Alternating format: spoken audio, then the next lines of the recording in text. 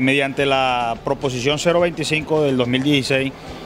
conjunto con el concejal Jesse Triana como ponente, lo que buscamos es que se amplíe la cobertura del servicio de aseo a todos los corregimientos del norte del municipio, porque vemos que hoy la, empresa prestadora este, de este servicio, Aseo del Norte, lo viene haciendo de manera de responsabilidad social. Lo que queremos es vincular que el municipio, como responsable de la prestación,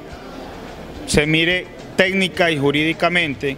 a través de una fuente de financiación cómo se le puede ampliar la cobertura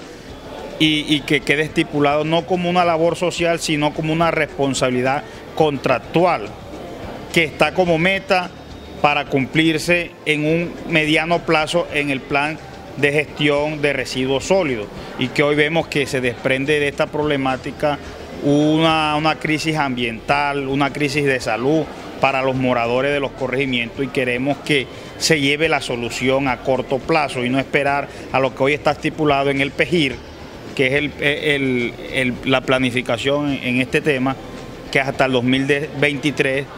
puedan tener la cobertura. Lo que buscamos es que, se crea a través de un comité mirar las alternativas que esto se pueda lograr solucionar de, de la manera más rápida y eficaz para beneficio de toda esta comunidad de los corregimientos. El municipio alude a la falta de presupuesto y sigue todavía que mucho del presupuesto eh, quedó comprometido de la vigencia pasada. ¿Cree usted que así se pueda lograr lo que usted está hoy proponiendo, que sea a corto plazo? Yo pienso que hay que revisar primero el tema de financiación. Este, hay responsabilidades de norma por parte del municipio que debe brindar unos subsidios y estamos hablando de una zona especial como los corregimientos. Mirar que ese subsidio sea un aporte del municipio y mirar también el aporte de los habitantes de una manera significativa para que entre todos podamos construir y se pueda lograr este servicio y que no sea solamente una responsabilidad social,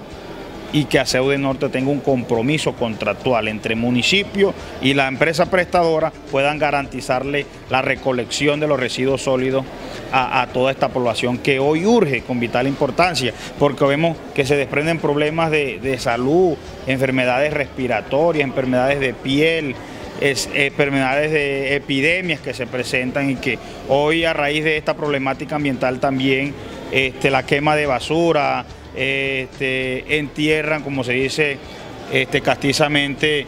los residuos sólidos y eso genera también afectación al subsuelo y a, los cuerpos hídricos que, surten en estas poblaciones. Y todos sabemos que el, impacto ambiental va hacia,